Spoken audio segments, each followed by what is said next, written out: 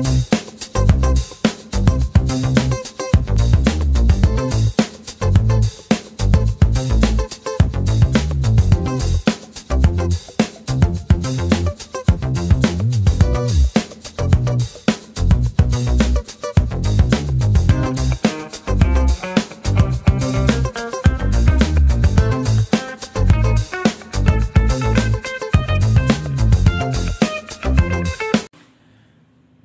Dear students എല്ലാവർക്കും ഒരിക്കൽ കൂടെ ബിസിനസ് റിസർച്ച് മെത്തേഡ്സിന്റെ അടുത്ത ക്ലാസ്സിലേക്ക് സ്വാഗതം.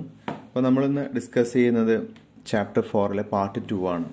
അപ്പോൾ ഈ ചാപ്റ്റർ മെഷർമെന്റ് ആൻഡ് സ്കെയിലിംഗ് എന്നാണ്. അപ്പോൾ അതിന്റെ ഇൻട്രൊഡക്ഷനും കാര്യങ്ങളൊക്കെ നമ്മൾ ലാസ്റ്റ് ക്ലാസ്സിൽ മനസ്സിലാക്കി. അപ്പോൾ അതുവരെയുള്ള എല്ലാ ക്ലാസ്സുകളുടെയും ലിങ്ക് ഇതിന്റെ താഴെയുള്ള ഡിസ്ക്രിപ്ഷനിൽ ചേർത്തിട്ടുണ്ട്. അപ്പോൾ ക്ലാസ്സുകളൊക്കെ മിസ്സായിട്ടുള്ള ആൾക്കാർ അത് കണ്ടുപോയി കാണുക ആദ്യം പോയിട്ട്. ഓക്കെ അതിനുശേഷം നമുക്ക് ഈ പാർട്ടിലേക്ക് വരാം. അപ്പോൾ ഇന്ന് ഡിസ്കസ് ചെയ്യുന്ന ടോപ്പിക്സ് നോക്കാം. Major topics construction of instrument എന്നുള്ളതാണ്. അപ്പോൾ അവിടെ നമുക്ക് മനസ്സിലാക്കാനുള്ളത് എന്താണ് ഒരു ഇൻസ്ട്രുമെന്റ് എന്നുള്ളതുകൊണ്ട് ഉദ്ദേശിക്കുന്നത് എന്നുള്ളതാണ്. എങ്ങനെ ഒരു ഇൻസ്ട്രുമെന്റ് നമുക്ക് കൺസ്ട്രക്ട് ചെയ്യാം. അതുപോലെ തന്നെ അതിന്റെ features features of a good measurement tool അല്ലെങ്കിൽ ഇൻസ്ട്രുമെന്റ് എന്ന് പറയാം. പിന്നെയുള്ളത് techniques of developing measurement tool അല്ലെങ്കിൽ ഇൻസ്ട്രുമെന്റ് ഇനി ആദ്യത്തെ ടോപ്പിക്ക് കൺസ്ട്രക്ഷൻ ഓഫ് ഇൻസ്ട്രുമെന്റ് ആണ്.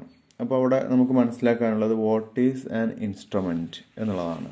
അപ്പോൾ ഇൻസ്ട്രുമെന്റ് എന്നുള്ളതുകൊണ്ട് ഇവിടെ പൊതുവായി നമ്മൾ ഉദ്ദേശിക്കുന്നത് ഒരു ജനറൽ സെൻസിൽ അതിന്റെ മീനിങ് എന്താണെന്ന് വെച്ച് കഴിഞ്ഞാൽ മെഷർമെന്റ് ഡിവൈസാണ് റിസർച്ചർ ഒരു ഗവേഷകൻ യൂസ് ചെയ്യുന്ന മെഷർമെന്റ് ഡിവൈസിനാണ് നമ്മളിവിടെ ഇൻസ്ട്രുമെന്റ് എന്ന് പറയുന്നത്. ഓക്കെ അപ്പോൾ അദ്ദേഹം ഉപയോഗിക്കുന്ന ഇൻസ്ട്രുമെന്റ് എന്ന് പറയുമ്പോൾ ഏതൊക്കെ ആവാം? ഇപ്പോൾ സർവേ അല്ലെങ്കിൽ ടെസ്റ്റുകൾ കണ്ടക്ട് ചെയ്തേക്കാം. ക്വസ്റ്റ്യനറി ഇന്റർവ്യൂ ഷെഡ്യൂൾ ഇങ്ങനെയുള്ള ഒരുപാട് കാര്യങ്ങളുണ്ട്. ഇതിനെല്ലാമാണ് നമ്മൾ മെഷർമെന്റ് ഡിവൈസ് അല്ലെങ്കിൽ ഇൻസ്ട്രുമെന്റ് എന്ന് പറയുന്നത്. ഓക്കെ അപ്പോൾ ഇങ്ങനെ എടുത്തു കഴിഞ്ഞാൽ നമുക്കിവിടെ രണ്ട് ടൈപ്പ് ഇൻസ്ട്രുമെന്റ് ഉണ്ടെന്ന് മനസ്സിലാക്കാം. ഒന്ന് റിസർച്ചർ കംപ്ലീറ്റഡ് ഇൻസ്ട്രുമെൻസും രണ്ടാമത്തത് സബ്ജക്റ്റ് കംപ്ലീറ്റഡ് ഇൻസ്ട്രുമെന്റ് എന്നാണ്. അപ്പോൾ അത് ആ പേരിൽ നിന്ന് കിട്ടും. റിസർച്ചർ അഡ്മിനിസ്റ്റർ ചെയ്യുന്നതുണ്ട്. അതോടൊപ്പം തന്നെ ഈ റെസ്പോണ്ടൻസ് അവരാണ് നമ്മളിവിടെ സബ്ജക്റ്റ് എന്ന് പറയുന്നത്. നമ്മൾ ആരെ കയ്യിൽ നിന്നാണോ ഡാറ്റ കളക്ട് ചെയ്യുന്നത് അവരാണ് ഇവിടുത്തെ സബ്ജക്ട്സ് അപ്പോൾ അവർ അഡ്മിനിസ്റ്റർ ചെയ്യുന്ന ഇൻസ്ട്രുമെൻസും ഉണ്ട്. ഓക്കെ അപ്പോൾ അങ്ങനെ രണ്ടായിട്ട് നമുക്ക് മൊത്തത്തിലുള്ള ഇൻസ്ട്രുമെൻസിനെ ക്ലാസിഫിക്കേഷൻ ചെയ്യാം. മനസ്സിലായല്ലോ റിസർച്ചർ അഡ്മിനിസ്റ്റർ ചെയ്യുന്ന ഇൻസ്ട്രുമെന്റ്സ് അതായത് അതെല്ലാം കൈകാര്യം ചെയ്യുന്ന റിസർച്ചറാണ് അതിൽ ഡാറ്റ ഫില്ല് ചെയ്യുന്നത് മറ്റൊക്കെ റിസർച്ചർ ആയിരിക്കും. രണ്ടാമത്തത് സബ്ജക്റ്റ് കംപ്ലീറ്റഡ് എന്ന് പറഞ്ഞു കഴിഞ്ഞാൽ അത് മാനേജ് ചെയ്യുന്നത് ആരാണ്? പാർട്ടിസിപ്പൻസ് ആണ്. അല്ലെങ്കിൽ ആ റെസ്പോണ്ടൻസ് ആണ് അത് ചെയ്യുന്നത്. ഇനി അത് ഏതൊക്കെയാണെന്ന് നോക്കാം. ജസ്റ്റ് പേര് മാത്രം നമുക്കൊന്ന് മനസ്സിലാക്കാം. റിസർച്ചർ ഹാൻഡിൽ ചെയ്യുന്ന അല്ലെങ്കിൽ റിസർച്ചർ കംപ്ലീറ്റ് ചെയ്യുന്ന ഇൻസ്ട്രുമെൻസിന്റെ എക്സാമ്പിൾസ് ആണ് റേറ്റിംഗ് സ്കെയിലുകൾ ഇന്റർവ്യൂ ഷെഡ്യൂൾ അല്ലെങ്കിൽ ഗൈഡ്സ് എന്ന് പറയും. പിന്നെ ടാലി ഷീറ്റ്സ് ഓക്കെ പിന്നെ വരുന്നതാണ് ഫ്ലോ ചാർട്ടുകൾ performance check list time and motion logs time അതുപോലെ തന്നെ ഇൻഡസ്ട്രിയൽ പെർഫോമൻസ് ഒക്കെ മെഷർ ചെയ്യാനാണ് നമ്മളത് യൂസ് ചെയ്യുന്നത്. അപ്പോൾ അതിൽ എത്രത്തോളം ടൈം ഓരോ മോഷന് എത്രത്തോളം ടൈം എടുത്തു എന്നുള്ള രീതിയിൽ അതിൽ ആക്ടിവിറ്റീസ് അതൊക്കെ നമ്മൾ നേരത്തെ പഠിച്ചു കാണും അപ്പോൾ അതിന്റെ ഒരു റെക്കോർഡ്സ് ആണ് അവിടെ ഉദ്ദേശിക്കുന്നത്. അതുപോലെ തന്നെ ഓബ്സർവേഷൻ ഫോം ഇത്രയും കാര്യങ്ങൾ ഇപ്പോൾ ഈ പറയപ്പെട്ടിട്ടുള്ള സാധനങ്ങളെല്ലാം തന്നെ റിസർച്ചർ കംപ്ലീറ്റഡ് ആയിട്ടുള്ള ഡോക്യുമെൻസിന് അല്ലെങ്കിൽ ഇൻസ്ട്രുമെൻസിന് ഉദാഹരണങ്ങളാണ്. ഇനി രണ്ടാമത്തെ കാറ്റഗറി ആയിരുന്നു സബ്ജക്റ്റ് കംപ്ലീറ്റഡ് ഇൻസ്ട്രുമെന്റ്സ് അപ്പോൾ അതിലൊന്ന് വരുന്നതാണ് ക്വസ്റ്റ്യനെയറുകൾ ക്വസ്റ്റ്യനെയറുകൾ പിന്നെ മറ്റൊന്ന് ഇപ്പോൾ നേരത്തെ ഒരു ഡിഫറൻസ് ഇപ്പോൾ നിങ്ങളത് പഠിച്ചതാണ്. ക്വസ്റ്റ്യനെയറും ഇന്റർവ്യൂ ഷെഡ്യൂളും ഒന്നാമത്തേതിലാണ് ഇന്റർവ്യൂ ഷെഡ്യൂൾ വന്നത്. ഇന്റർവ്യൂ ഷെഡ്യൂൾ ആരാണ് ഹാൻഡിൽ ചെയ്യുന്ന റിസർച്ചറാണ് അല്ലേ? റെസ്പോണ്ടന്റ് കയ്യിൽ നിന്ന് കാര്യങ്ങൾ ചോദിച്ചറിഞ്ഞുകൊണ്ട് അത് ഫില്ല് ചെയ്യാണ് ചെയ്യുന്നത്. അവിടെ അത് ചെയ്യുന്നത് റിസർച്ചറാണ് അപ്പോഴാണ് നമ്മൾ അതിന് ഇന്റർവ്യൂ ഷെഡ്യൂൾ എന്ന് പറയാം. സെയിം സാധനം തന്നെ റെസ്പോണ്ടന്റ് സ്വന്തം നിലക്കാണ് അതെല്ലാം ഫില്ല് ചെയ്യുന്നത്. എങ്കിൽ അത് നമ്മൾ അതിന് ക്വസ്റ്റ്യനെയർ എന്നും പറയും. അതാണ് അത് തമ്മിലുള്ള ഒരു സാങ്കേതികമായിട്ടുള്ള വ്യത്യാസം.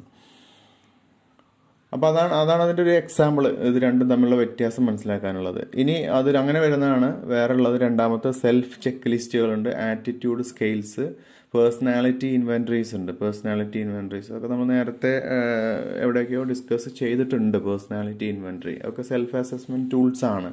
ഒരു റെസ്പോണ്ടന്റിന് അദ്ദേഹത്തിന്റെ പേഴ്സണാലിറ്റി അതൊക്കെ ടൈപ്സ് ആണ് എന്നൊക്കെ മനസ്സിലാക്കത്തക്ക രീതിയിലാണ് അത് ഡെവലപ്പ് ചെയ്യുന്നത്. ഓക്കെ ഇനി അഞ്ചാമത്തതാണ് അച്ചീവ്മെന്റ് അല്ലെങ്കിൽ ആപ്റ്റിറ്റ്യൂഡ് ടെസ്റ്റുകൾ പിന്നെ പ്രൊജക്റ്റീവ് ഡിവൈസസ് ഉണ്ട്. പ്രൊജക്റ്റീവ് ഡിവൈസസ് എന്ന് പറഞ്ഞു കഴിഞ്ഞാൽ നമ്മൾ ഈ പ്രൊജക്റ്റ് ചെയ്യാൻ വേണ്ടി പ്രൊജക്ടർ അല്ല ഉദ്ദേശിക്കുന്നത്. കേട്ടോ ഇലക്ട്രോണിക് ഡിവൈസ് അല്ല അവിടെ ഉദ്ദേശിക്കുന്നത്. പ്രൊജക്റ്റീവ് ഡിവൈസസ് എന്ന് പറയുമ്പോൾ ഇപ്പോൾ നേരത്തെയുള്ള തിയമാറ്റിക് അപ്രീസിയേഷൻ ടെസ്റ്റ് പോലെയൊക്കെയുള്ള ചില ഇങ്ക് പ്ലോട്ട് ടെസ്റ്റ് അങ്ങനെയൊക്കെ കേട്ടിട്ടുണ്ടായിരിക്കും അപ്പോൾ അങ്ങനെയുള്ള കാര്യങ്ങളൊക്കെ ഇവിടെ പ്രൊജക്റ്റ് ഡിവൈസസ് എന്നുള്ളതുകൊണ്ട് ഉദ്ദേശിക്കുന്നത്. അതുപോലെ തന്നെ സോഷ്യോമെട്രിക് ഡിവൈസസ് ഉണ്ട്. അതായത് ഒരു ഗ്രൂപ്പിനകത്തുള്ള മെമ്പേഴ്സ് അവരുടെ ആ ഗ്രൂപ്പിൽ എത്രത്തോളം അവർ അറ്റാച്ച്ഡ് ആണ് അവരുടെ റിലേഷൻഷിപ്പ് എങ്ങനെയാണ് റിജക്ഷൻ അങ്ങനെയൊക്കെയുള്ള കുറേ കാര്യങ്ങളുണ്ട്.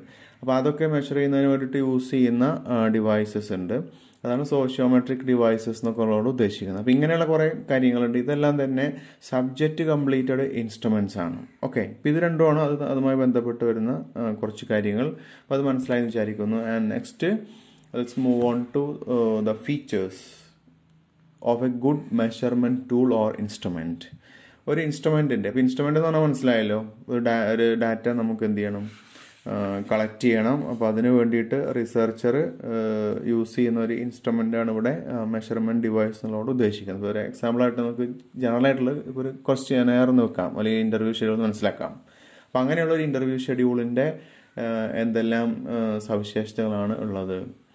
അല്ലെങ്കിൽ ഒരു മെഷർമെന്റ് സ്കെയിലിന് എന്തൊക്കെ ക്രൈറ്റീരിയാസാണ് കൺസിഡർ ചെയ്യേണ്ടത്?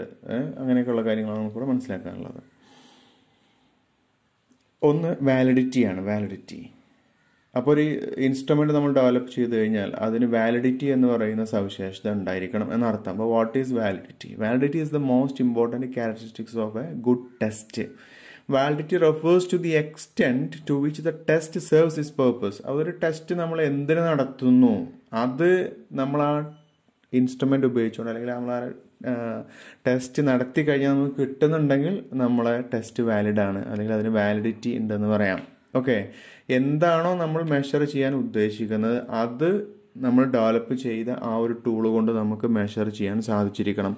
അങ്ങനെ പറ്റുന്നുണ്ടെങ്കിൽ അതിന് നമ്മൾ വാലിഡിറ്റി ഉണ്ടെന്ന് പറയും. ഓക്കെ രണ്ടാമത്തത് മെഷറബിലിറ്റിയാണ് നമ്മൾ എന്താ എന്താണോ നമ്മൾ ഒബ്ജക്റ്റീവ് ആ ഒബ്ജക്റ്റീവ് അച്ചീവ് ചെയ്യാൻ പറ്റണം. അപ്പോഴാണ് നമുക്ക് അതിന് മെഷറബിലിറ്റി ഉണ്ടെന്ന് പറയാൻ പറ്റും it should be measure it should measure the objective to be achieved okay നമുക്ക് എന്താണോ അച്ചീവ് ചെയ്യേണ്ടത് ആ ഒബ്ജക്റ്റീവ് നമുക്ക് മെഷർ ചെയ്യാൻ പറ്റണം ഈ ടൂൾ കൊണ്ട്. അപ്പോൾ നമ്മുടെ ലക്ഷ്യം നമ്മുടെ സ്റ്റഡിയുടെ ലക്ഷ്യം ഒന്നാണ് ആ ലക്ഷ്യത്തിലേക്ക് എത്തക്ക എത്തുന്ന അല്ലെങ്കിൽ ആ ലക്ഷ്യം അച്ചീവ് ചെയ്യുന്ന രീതിയിൽ വേണം നമ്മൾ ഈ മെഷർമെന്റ് സ്കെയിലും മറ്റും സെറ്റ് ചെയ്യാൻ. അപ്പോൾ നമ്മൾ ഏതോ ഒരു സ്കെയിൽ ഇട്ടു. അതുകൊണ്ട് നമ്മൾ എന്തൊക്കെയോ മെഷർ ചെയ്തു. അങ്ങനെ കുറേ റിസൾട്ട് കിട്ടി. പക്ഷേ അവസാനം നോക്കുമ്പോൾ നമ്മുടെ ഒബ്ജക്റ്റീവ് അച്ചീവ് ചെയ്യാൻ പറ്റിയിട്ടില്ലെങ്കിൽ ആ ഒരു മെഷർമെന്റ് സ്കെയിൽ കൊണ്ട് പ്രത്യേകിച്ച് അല്ലെങ്കിൽ ആ ഒരു മെഷർമെന്റ് ടൂൾ ഇൻസ്ട്രുമെന്റ് കൊണ്ട് പ്രത്യേകിച്ച് യാതൊരുവിധ ഉപകാരവും റിസർച്ചർക്ക് ഉണ്ടാവാൻ പോകുന്നില്ല. ഓക്കെ അപ്പോൾ അതാണ് അതിന്റെ മെഷറബിലിറ്റി എന്നുള്ളത് ഉദ്ദേശിക്കുന്നത്.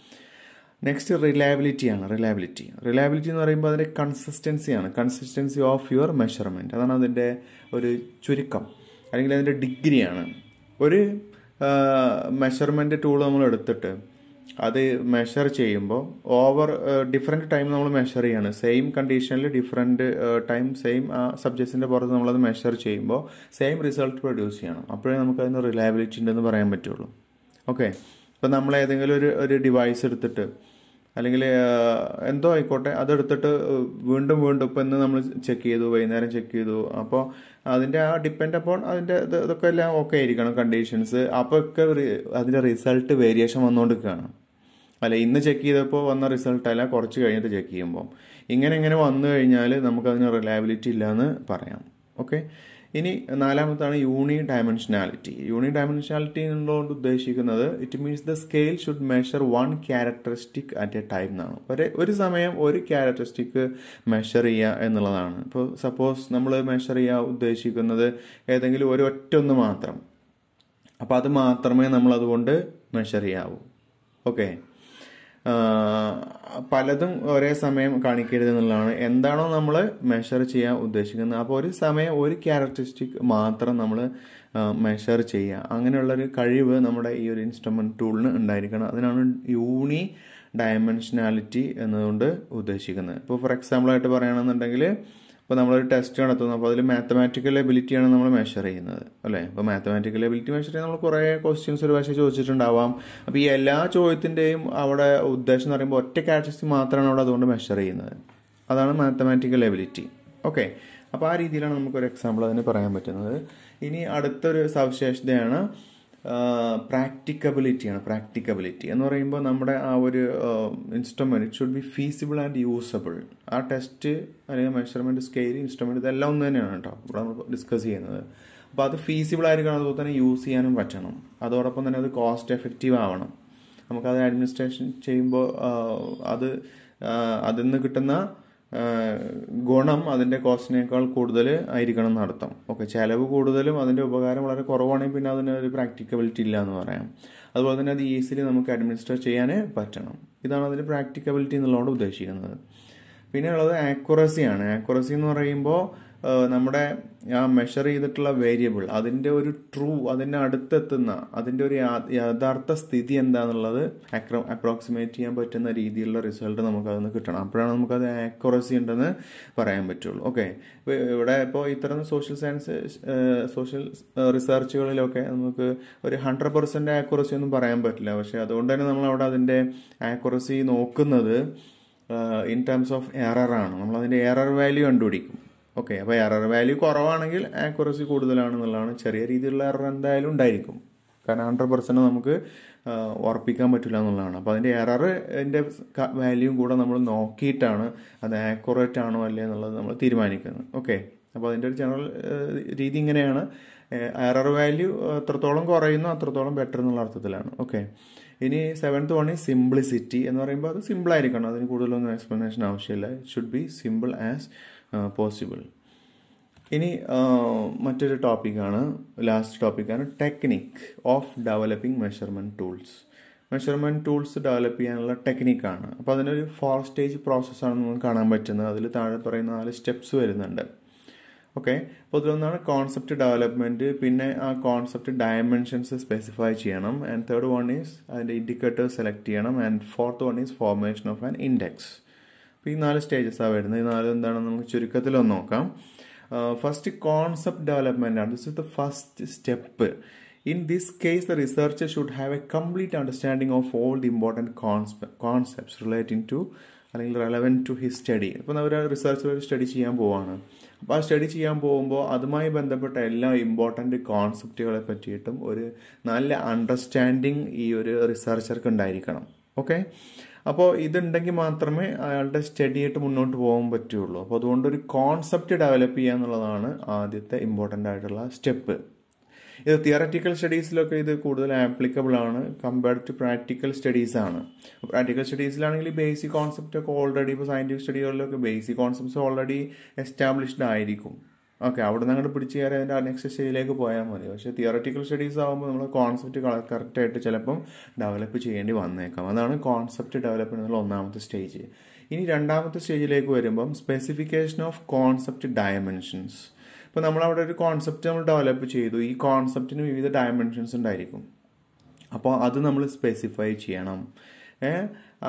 ഒന്നാമത്തെ സ്റ്റേജിൽ ഡെവലപ്പ് ചെയ്തിട്ടുള്ള ഈ ഒരു കോൺസെപ്റ്റിന്റെ വിവിധ ഡയമെൻഷൻസ് നമ്മൾ ഏതൊക്കെയാണെന്ന് മനസ്സിലാക്കണം. എന്നിട്ട് ഏത് ഡയമെൻഷനാണ് നമ്മൾ കൺസിഡർ ചെയ്യേണ്ടത്? ഏത് വഴിക്കാണ് നമ്മൾ പോകേണ്ടത് എന്നുള്ളത് നമ്മൾ നോക്കണം എന്നുള്ളതാണ്. ഓക്കെ? അത് ഒന്നുകിൽ നമ്മളൊരു ഒരു ഡിഡക്ഷൻ അപ്രോച്ചിലൂടെ ആയിരിക്കും നമ്മളത് അച്ചീവ് ചെയ്യുന്നത്. അല്ലെങ്കിൽ നമ്മളൊരു എംപരിക്കൽ കോറിലേഷനാണ്. അതായത് വിവിധ കോൺസെപ്റ്റുകൾ തമ്മിലുള്ള ഒരു ഇൻഡിവിജ്വൽ ഡയമെൻഷൻസ് നോക്കുമല്ലോ അത് തമ്മിലൊരു കോറിലേഷനൊക്കെ അതിന്റെ ഒരു എംപിരിക്കൽ കോറിലേഷൻ എന്നൊക്കെ നമ്മൾ പറയുന്നത്. നമുക്ക് കറക്റ്റായിട്ട് അത് പ്രൂവ് ചെയ്യാൻ പറ്റുന്ന രീതിയിലുള്ള ഒരു കോറിലേഷൻ അതൊക്കെ മനസ്സിലാക്കിയതിന് ശേഷമാണ് നമ്മളതിന്റെ വിവിധ ഡയമെൻഷൻസ് മനസ്സിലാക്കുന്നത്.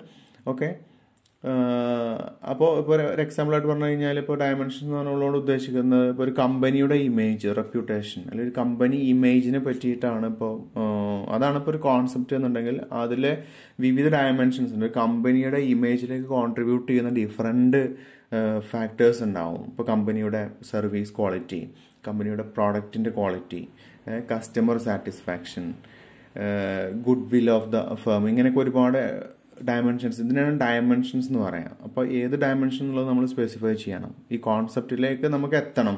നമുക്ക് ആ ഒരു കോൺസെപ്റ്റിനെ പറ്റിയിട്ടാണ് നമ്മുടെ സ്റ്റഡിയിൽ നമ്മളത് അതിന്റെ ഒരു ഔട്ട്കം വരണം. അപ്പോൾ എന്തെല്ലാം ഡയമെൻഷൻസ് നമ്മൾ ഇതിലേക്ക് കോൺട്രിബ്യൂട്ട് ചെയ്യണം. ഈ ടോട്ടൽ കോൺസെപ്റ്റ് അച്ചീവ് ചെയ്യണമെങ്കിൽ ഏതെല്ലാം ഡയമെൻഷൻസിന്റെ ഒരു കോമ്പിനേഷൻ വരണം എന്നുള്ളത് നമ്മൾ കറക്റ്റായിട്ട് നോക്കണം. ഓക്കെ അതാണ് അവിടെ അതുകൊണ്ട് ഉദ്ദേശിക്കുന്നത്. ഇനി തേർഡ് വൺ ഈസ് ഇൻഡിക്കേറ്റർ സെലക്ഷനാണ് അപ്പോൾ in this stage the researcher has to develop the indicators that help in measuring the elements of the concept അപ്പോൾ ഇവിടെ ഈ ഒരു കോൺസെപ്റ്റിന്റെ വിവിധ എലമെന്റ്സ് അല്ലെങ്കിൽ നമ്മൾ അതിന്റെ ഡയമെൻഷൻസ് പറഞ്ഞു. ഇപ്പോൾ ഈ ഓരോ ഡയമെൻഷനും നമ്മൾ മെഷർ ചെയ്യാണ്. ഓരോ ഡയമെൻഷനും മെഷർ ചെയ്യുന്നതിന് ഏതെല്ലാം ഇൻഡിക്കേറ്റേഴ്സ് ആണ് നമ്മൾ യൂസ് ചെയ്യേണ്ടത് എന്നുള്ളത് നമ്മൾ ഡെവലപ്പ് ചെയ്യണം. അപ്പോൾ ഇവിടെ ഇൻഡിക്കേറ്റേഴ്സ് നമ്മളോട് ഉദ്ദേശിക്കുന്നത് ഇപ്പോൾ ക്വസ്റ്റ്യനെയർ സ്കെയിൽസ് അതുപോലെ തന്നെ മറ്റ് ഡിവൈസസ് ഒക്കെ ഉണ്ട്. അതൊക്കെ റെസ്പോണ്ടന്റിന്റെ ഒപ്പീനിയൻ അവരുടെ മൈൻഡ് സെറ്റ് അവരുടെ നോളജ് ഇതെല്ലാം നമ്മൾ ഈ ഒരു എന്താ പറയുക ഇൻഡിക്കേറ്റേഴ്സ് ഡെവലപ്പ് ചെയ്ത് അതിലൂടെയാണ് നമ്മൾ അത് സ്വരൂപിക്കുന്നത്. ഓക്കെ ഇപ്പോൾ ഒരു ഉദാഹരണം പറഞ്ഞു കഴിഞ്ഞാൽ ഇപ്പം കസ്റ്റമർ സാറ്റിസ്ഫാക്ഷൻ ഇപ്പോൾ ഒരു കമ്പനി ഇമേജിന്റെ ഒരു ഇമ്പോർട്ടന്റ് ഡയമെൻഷനാണ് കസ്റ്റമർ സാറ്റിസ്ഫാക്ഷൻ കാരണം കസ്റ്റമർ സാറ്റിസ്ഫാക്ഷൻ എന്നുള്ളൊരു എലമെന്റ് കമ്പനിയുടെ ഇമേജിനെ ഇൻഫ്ലുവൻസ് ചെയ്യുന്ന ഒരു ഫാക്ടറാണ് അപ്പോൾ കസ്റ്റമറുടെ സാറ്റിസ്ഫാക്ഷൻ മെഷർ ചെയ്യാൻ നമ്മളൊരു മെഷർമെന്റ് സ്കെയിൽ ഡെവലപ്പ് ചെയ്യണം. അതിന് കുറേ വേരിയബിൾസ് വരും. അതൊരു പക്ഷേ നമുക്കൊരു സ്കെയിൽ അവിടെ നമ്മൾ ഡെവലപ്പ് ചെയ്യേണ്ടി വന്നേക്കാം. അപ്പോൾ ഇങ്ങനെയുള്ള ആ സ്കെയിലാണ് നമ്മൾ ഇൻഡിക്കേറ്റർ എന്ന് പറയുക അപ്പോൾ അങ്ങനെ ഈ ഓരോരോ ഡയമെൻഷൻസും നമ്മൾ അത് അച്ചീവ് ചെയ്യണമെന്നുണ്ടെങ്കിൽ നമ്മൾ ഓരോരോ പിന്നെ ഇൻഡിക്കേറ്റേഴ്സ് ഇതുപോലെ ഡെവലപ്പ് ചെയ്യേണ്ടി വരും. അത് ചെയ്യുക എന്നുള്ളതാണ്. അപ്പോൾ അതിന് ഒരു സംഭവം നമുക്ക് സ്റ്റഡി ചെയ്യാൻ അത് ഏറ്റവും നല്ല രീതിയിൽ മെഷർ ചെയ്യാൻ ഏത് ഇൻഡിക്കേറ്ററാണ് ഏറ്റവും ബെസ്റ്റ് ഇപ്പോൾ ഒരു ക്വസ്റ്റ്യൻ എയർ ആണോ ബെസ്റ്റ് അല്ലെങ്കിൽ ഇന്റർവ്യൂ ഷെഡ്യൂൾ രീതിയിൽ ചെയ്യുന്നതാണോ ബെസ്റ്റ് അല്ലെങ്കിൽ ഏത് പിന്നെ സ്കെയിലിൽ യൂസ് ചെയ്യുന്നതാണ് ടെസ്റ്റ് ബെസ്റ്റ് ഇങ്ങനെയുള്ള ഒരുപാട് കാര്യങ്ങൾ നമ്മൾ എന്ത് ചെയ്യേണ്ടി വരും? മനസ്സിലാക്കേണ്ടി വരും. അപ്പോൾ അതൊക്കെ സെലക്ട് ചെയ്യുക എന്നുള്ളതാണ് ഇൻഡിക്കേറ്റർ സെലക്ഷൻ എന്നുള്ളതിൽ നമ്മൾ മനസ്സിലാക്കേണ്ട കാര്യം. ഓക്കെ ഇനി മറ്റൊന്നാണ് index formation index formation index formation എന്ന് പറയുമ്പോൾ ഇപ്പോൾ ഡിഫറെന്റ് ഇൻഡിക്കേറ്റേഴ്സ് ഞാൻ പറഞ്ഞല്ലോ ഇപ്പോൾ ഈ ഒരു എന്താ പറയുക കമ്പനിയുടെ ഇമേജ് എന്നുള്ളതാണ് നമ്മുടെ ആ ടോട്ടൽ കോൺസെപ്റ്റ് എങ്കിൽ.